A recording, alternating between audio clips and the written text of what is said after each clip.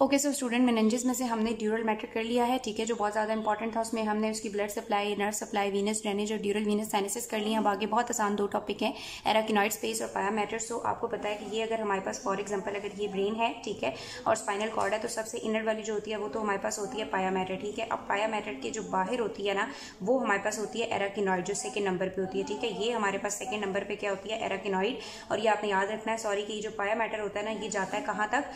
ये जाता है एस तक ठीक है? इसकी एक प्रोजेक्शन होती है फाइलम टर्मिनली जिसे हम बोलते हैं, वो जाता है एस टू वर्टिप्रा तक और इसके साथ साथ एराकिनॉइड एंड ड्यूरा बी जो है, वो एस टू तक ही एक्सटेंड करते हैं, ठीक है? अब बात आ जाती है कि ये जो पाया और एराकिनॉइड के दरमियान की स्पेस है ना, इसे हम बोलते हैं सब एराकिनॉइड स्पेस और इस एराकिनॉइड के बाद आपको है ड्यूरा होता है और एराकिनॉइड एंड ड्यूरा की स्पेस को हम कहते हैं सब ड्यूरल स्पेस ठीक हो गया? अब एक और बात आपने याद रखनी है कि जो एराकिनॉइड मैटर है, ये हमारे पास डेलिकेट होता है और इम्परमिएबल होता है, ठीक है? इसका ये कैरेक्टरिस्टिक्स याद रखना है और ये दोनों मेम्ब्रेन के दरमियान में होता है, इसके इंटरनली बड़ा हुआ होता है, पाया मैटर और इसके एक्सटर्नली बड़ा हुआ होता है ड्यूरा मैटर एराकिनॉइड के लिहाज से आपको दो चीज़ें करनी है। एक आपको पता होना चाहिए कि एराकिनॉइड क्रिस्टरनाए क्या है, ठीक है? और दूसरा आपको पता होना चाहिए कि हमारे पास एराकिनॉइड विलाए क्या है? एराकिनॉइड क्रिस्टरनाए क्या है? बच्चों नॉर्मली हमारे पास जो नॉर्मली तो ये जो हमारे पास अंदर पाया है ना, और ये जो बायर किनाइड है, ठीक है? इनमें इतना ज़्यादा डिस्टेंस नहीं होता। ये आपस में मतलब इस तरह ही क्लोजली अटैच होती हैं, ठीक है? अटैच तो नहीं होती, लेकिन मतलब बहुत थोड़ा डिस्टेंस होता है। लेकिन किसी किसी जगह पे क्या होता है कि ये वाइडली सेपरेटेड हुई भी होंगी एक दूसरे से, ठीक है? ये जब वाइडली सेपरेटेड हुई होंगी तो इस स्पेस को हम क्या बोलते हैं? स्पेस को हम बोलते हैं क्रिस्टरनाई ठीक है?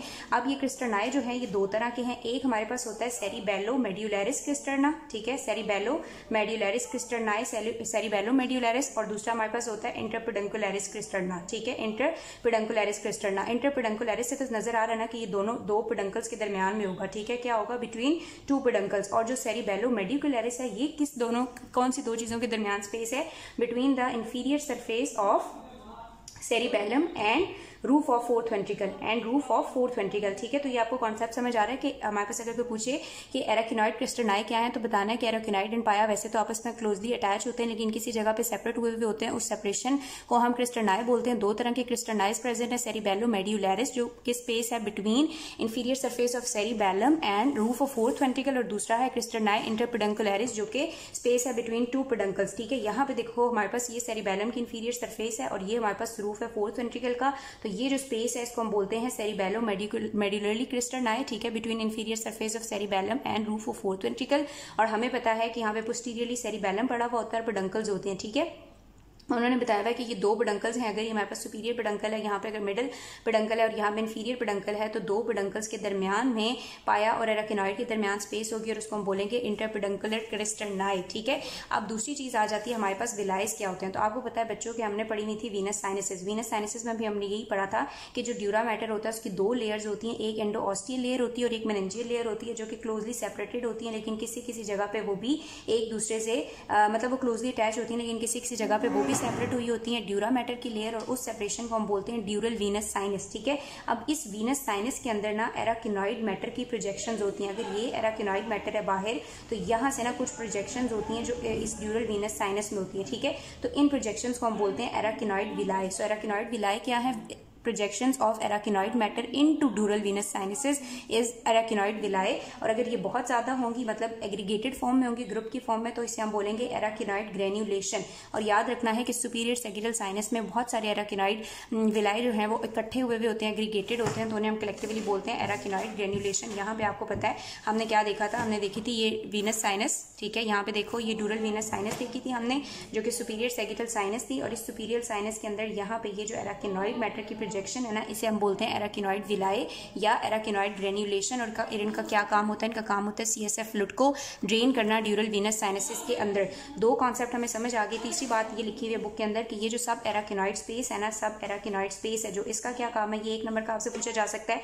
तो एक ही याद रखना है कि जितने भी स्ट्रक्चर ब्रेन में जाते हैं स्कल से या ब्रेन से वापस स्कल की तरफ़ आते हैं वो सारे के सारे इस सब एराकिनॉइड स्पेस को इंटर करके जाते हैं ठीक है? दूसरी बात यह है कि सेरिब्रल आर्टरी सेरिब्रल वेन्स और सेरिब्रल जो क्रेनियल नर्व्स हैं, वो सारी की सारी भी इसी सब एराकिनॉइड स्पेस में लाई करती हैं, ठीक है? ये दो फ़ंक्शन हो गए किसके सब एराकिनॉइड स्पेस के। एक इंपॉर्टेंट चीज़ बाद में जो रह गई है वो हमारे पास ये है कि वैसे तो, तो जो एराकिनॉइड होता है ना बच्चों हमने क्या कहा है कि वो कंटिन्यू करता है ठीक है? ना सिर्फ़ ब्रेन को कवर करता है बल्कि फॉरम एंड मैग्नम के लेवल से नीचे भी ये जाता है और कहाँ तक जाता है? S two sacral two vertebra तक जाता है ये याद रखना है। लेकिन यहाँ से ऊपर ऊपर ना फॉरमेन के मैग्नम से ऊपर ऊपर जो एराकिनॉइड मैटर होता है वो हमारे पास क्रेनियल नर्व्स के लिए टिब्यूलर शीट बनाता है। क्या बनाता है?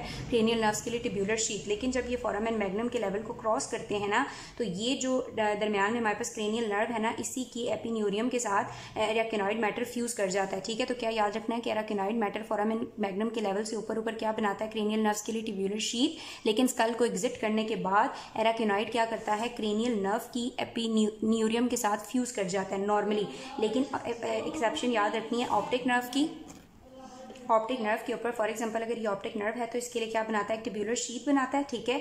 और ऑर्बिटल केनाल से गुजर के ना ऑर्बिटल केनाल से गुजर के ये टिब्यूलर शीट जो है, वो ऑर्बिटल कैविटी में जाती है और वहाँ पे जाके ना, हमारा जो आई बॉल का स्क्लेरा होता है, उसके साथ फ्यूज करती है, ठीक है? तो ये याद रखना है कि ऑप्टिक नर्व के लिए एराकिनॉइड मैटर टिब्यूलर शीट बनाता है और ऑप्टिक केनाल से गुजर के ऑर्बिटल कैविटी तक जाता है और वहाँ पे आई बॉल के स्क्लेरा के साथ जाके फ्यूज कर लेता है, ठीक है? ये एक दो तीन बातें बताई हुई थी, उसके बाद हमें बताया था सीएसएफ के बारे में, थोड़ा सा कि सीएसएफ कंसेप्ट जो है वो कहाँ पे प्रोड्यूस होता है, वो हमारे पास लेटरल वेंट्रिकल्स जो हैं, तीन वेंट्रिकल्स हैं lateral third and fourth ventricle उनके कॉरोनाइड प्लेक्सिस में सी प्रोड्यूस होता है, ठीक है? और फिर जो फोर्थ वेंट्रिकल होती है, उसके अंदर होते हैं फोरामिनास ठीक है?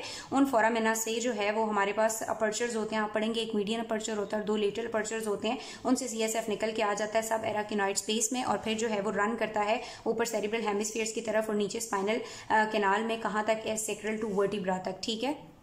तो इतनी सी बात थी, हमारे पास एराकिनॉइड की, कि डेलिकेट इम्परमिएबल मेम्ब्रेन है और ये पाया और ड्यूरा के दरमियान में लाई करती है, ठीक है? एराकिनॉइड क्रिस्टनाई क्या है? एराकिनॉइड विलाई क्या है? ग्रेन्यूलेशन किसको कहते हैं? उनका क्या काम है? उसके बाद हमने देखा सब एराकिनॉइड स्पेस के क्या काम है, ठीक है? और एराकिनॉइड मैटर किस तरह से जो है वो कवरिंग्स बनाता है टेब्यूलर शीत बनाता है नर्व्स के लिए, लेकिन जब उस कल को एग्जिट करती हैं तो फिर ये उनके एपिन्यूरियम के साथ फ्यूज हो जाता है, ठीक है? अब हम पाया मैटर करते हैं, ठीक है? पाया मैटर हमारे पास सबसे ये इनर वाली लेयर है, ठीक है? एक तो याद रखना कि क्लोजली ब्रेन को इन्वेस्ट कर रही होती है क्लोजली ब्रेन और स्पाइनल कॉर्ड के साथ अटैच होती है। दूसरा पाया मैटर की जो है वो प्रोजेक्शन है, जिसे हम कोयलम टर्मिनाले बोलते हैं, जो सेक्रल टू वर्टिब्रा तक लगती है जाके, ठीक है? एंड देन पाया टर्मिनाले हमारे पास क्या होती है? ये एक वस्कुलर मेम्ब्रेन होती है, ठीक है? इसमें जो है वो हमारे पास मीजोथीलियम सेल्स ने इसको कवर किया हुआ होता है, ठीक है?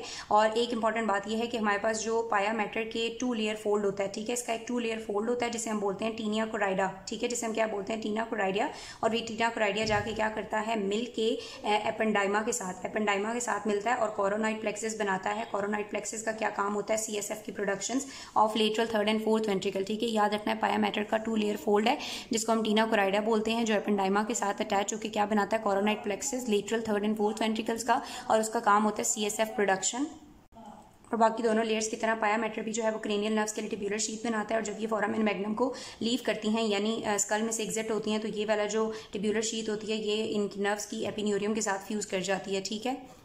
तो कलेक्टिवली अगर हम बात करें तो ड्यूरा मैटर के लिए आपने याद रखना है कि वो स्ट्रॉन्ग डेंस फाइब्रस मेम्ब्रेन होती है, ठीक है? और अगर हम एराकिनॉइड की बात करें तो वो डेलिकेट होती है, लेकिन इम्परमेबल होती है। और पाया कि आपने याद रखनी है हमेशा कि ये वस्कुलर मेम्ब्रेन है, ठीक है?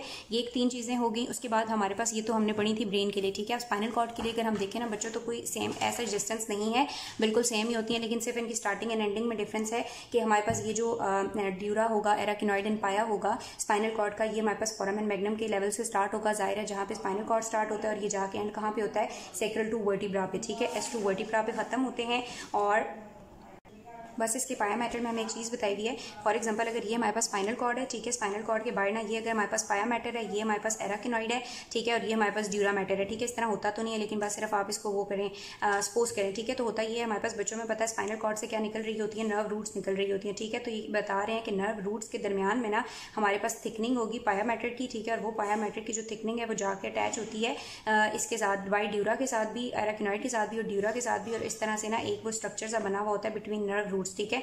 और इस स्ट्रक्चर को हम बोलते हैं डेंटिकुलेटम ठीक है? और ये हमारे पास ऐसे लग रहा होता है स्ट्रक्चर की वजह से कि पाया मैटर ने क्या किया हुआ है? पाया मैटर से सॉरी ये स्टार्ट होती है। पाया मैटर ने क्या किया हुआ है? मतलब समझ लो कि पाया मैटर से ऐसे वो एक थिकनिंग सी निकलती है जो बाहर जाके ड्यूरा को भी और एराकिनॉइड के साथ अटैच हुई हुई होती है और इसे हम डेंटिकुलेटम बोलते हैं और इसकी वजह से ऐसे लगता है कि स्पाइनल कॉर्ड ना लटका हुआ है, ठीक है? और इसकी कोई मेरे पास अगर पिक्चर हुई तो मैं आपको दिखाऊँगी।